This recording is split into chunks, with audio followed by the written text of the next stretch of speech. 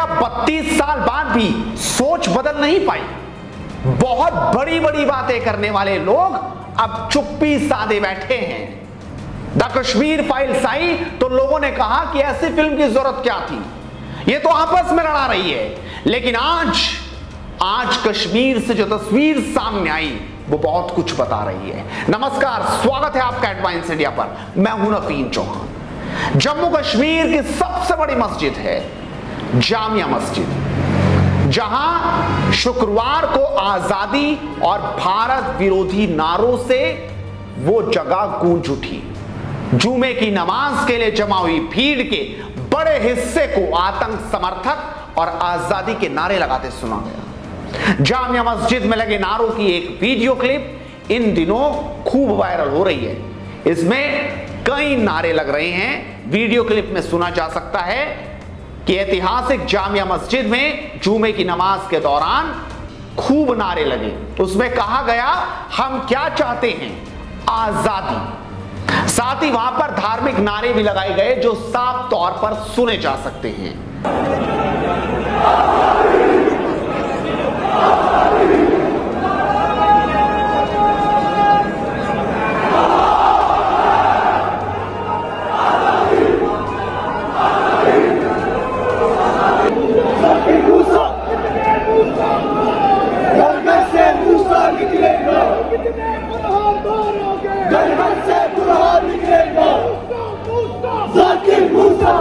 अनुच्छेद 370 हटने के बाद से प्रदेश को मुख्य धारा में लाने की कोशिशें खूब तेज हुई।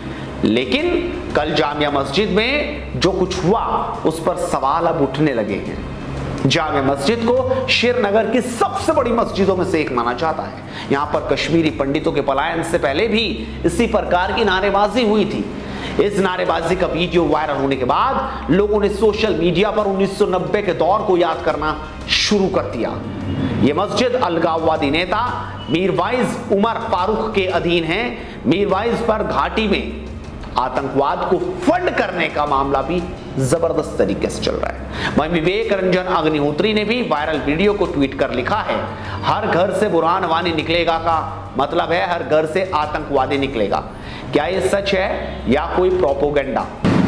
समझ सकते हैं आप। आपको बता दें कि मस्जिद में नारेबाजी करने वाले एक व्यक्ति को गिरफ़्तार किया जाने की भी रिपोर्ट सामने आई है। स्थानीय मीडिया की रिपोर्ट्स के मुताबिक जामे मस्जिद के अंदर नारेबाजी करने के आरोप में एक व्यक्ति को श्रीनगर पुलिस ने गिरफ़्तार किया है। इस संबंध में आईपीसी की धारा 124 से चार के तहत एफआईआर संख्या 16 बटे 2020 के तहत नौ टट्टा में मामला दर्ज किया गया है।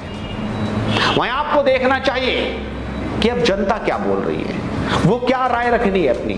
आइए दिखाते हैं। तनवीर अशरफ कहते हैं आप जैसों की मेहरबानी है। शबनम शेख कहते हैं, इन जाहिलों ने ही हमारी पूरी कौम को बदनाम कर दिया है। एक और शख्स कहते हैं, ये बहुत चिंताजनक है लेकिन सरकारें इन ताकतों के साथ जब खड़ा होती हैं तो हिंदुओं का ही नरसंहार होता है। ऐसी मस्जिदों को बंद कर देना चाहिए, जहाँ पर भी देश विरोधी नारे लगते हों और नारे लगाने वालों पर यूएपीए के तहत मुकदमा दर्ज करके जेल में डाला जाना चाहिए।